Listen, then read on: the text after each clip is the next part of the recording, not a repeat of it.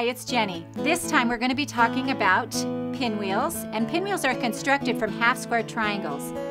People used to make half square triangles. This was such now it's such an archaic method.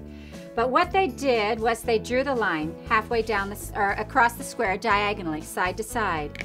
Then they layered their fabric, right sides together, and you sewed a quarter of an inch on either side of that line. You flip it around and sew down the other side. We've got our square sewn down the middle. Hopefully you sewed a straight line. Hopefully you're gonna cut it straight.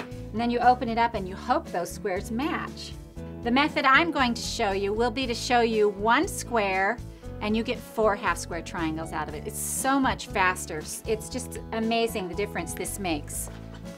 So here we have our five inch square and we're going to lay it with a charm of a solid color we're going to sew a quarter of an inch all the way around on the outside edge.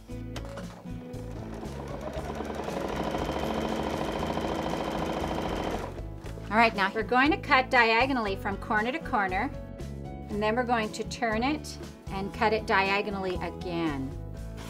There we go, it's amazing. You now have four half square triangles out of one square and they're perfect.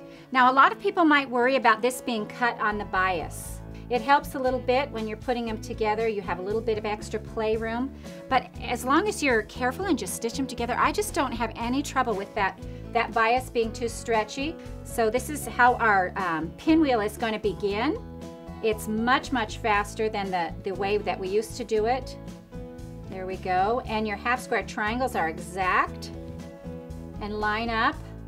So instead of having to make two more of these, you now have four ready to go.